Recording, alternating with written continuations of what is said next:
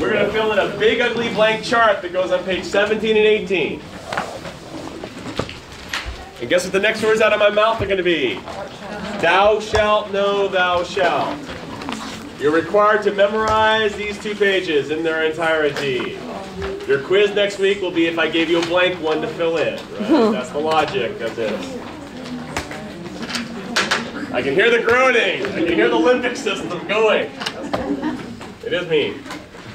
Okay, so this is your endocrine hormone chart from hell. So, we have the hormones and all these other things. So tell me what a hormone is in this context. Chemical messenger. That's a chemical that does something. Each one has a name or an abbreviation. You can give me one or the other and an answer. So now we got to figure out what a source is. What is a source of a hormone? The organ that secretes it, makes it, produces it. Where is it made? So where does it come from? Where is it made? Something, something gland. So they're made at the source. Can anyone guess what the target is? Where it goes. The effector. Where it goes. The target's what you hit. So I'm made at a source and I go to a target. Make sense? How do I get there? How do I get from a source to a target if I'm a hormone? Blood, right? It's in the blood, so the blood carries it from one place to the other. All right, we're going to skip over the action. What is the action of a hormone? What it does. What is that? I don't know what that is. What it does. So where you're made, where you go, and what you do are those three categories. The one you don't know anything about is type. That's the chemical typing. So over here, we're going to fill in the choices for the type column. So when you get to the type column, you have two choices to begin with. One of them is steroid. So some hormones are steroidal or steroid in type, chemical. Tell me what the other choice is. Non-steroidal. Non-steroid. Listen to you. You've heard this joke before. All right. So your first choice in the steroid in the type column is it a steroid or not, which is some chemistry from 112. If it's a non-steroid, you have additional question that you have to decide.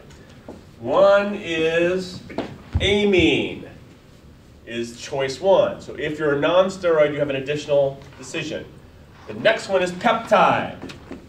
If you remember your biology 112, you remember amines and peptides, monomer, polymer kind of stuff. So you're going to pick steroid or not. If you pick not, you have two other choices you have to make. That's what's going to go in the type column. Make sense? And you're going to write in stuff that you're going to remember for your quiz next week. So we're going to do the first row or two together to get the feel for this. So growth hormone. Because we're biologists and we're pretty dumb, we always put answers in the name. So growth hormone tells me an action. What does it do? Grow. Makes me grow. Yes, that's an A answer. Right? This is for you. I know what Saladin says. This is for you. It makes me grow. If I remember that, I'm going to work backwards. What's the target? Where would I grow? Everywhere. Bones are a target. Muscles are a target. All over is a target. So my bones and muscles are what I target to make me grow. Source. What, what thing makes growth hormone to go to my bones and muscles? Pituitary. Which one? There are two. The anterior pituitary. So for this class and for lab, you have to put both, or adenohypophysis to be fancy. The anterior pituitary is separate from the posterior. Then we're going to do type. So to make it easier, I'm going to abbreviate it as NSP. Can anyone guess what NSP stands for? Non-steroidal peptide. So you can write NSP, and that would tell me you mean non-steroidal peptide. Can we guess what the abbreviation for amines are?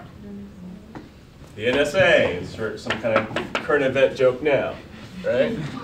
NSA and NSP are just shortcuts for saying non-steroidal amine, non-steroidal peptides.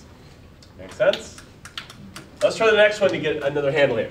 Thyroid stimulating hormone. Gee whiz. Where's it made? It's not made in your thyroid, no. Interior. It's made my anterior pituitary. Can anyone guess what the target of thyroid stimulating hormone is? Thyroid. The thyroid is the target. That's why we put it in the name. Can we guess the action of thyroid stimulating hormone? Stimulates my thyroid, increases activity of my thyroid, arouses my thyroid, activates my thyroid, stimulates, increases output thereof. Whatever words you want for there.